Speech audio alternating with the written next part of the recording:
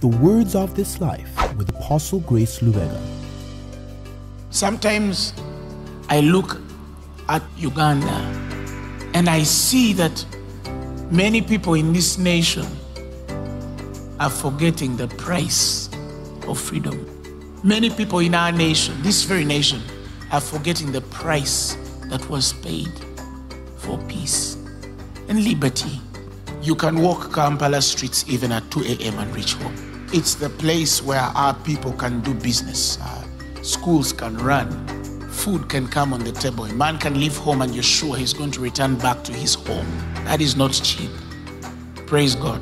Learn to cherish, you learn to respect, to honor, to appreciate, to give a certain reverence to the peace, the freedom, and liberty that you have in Christ.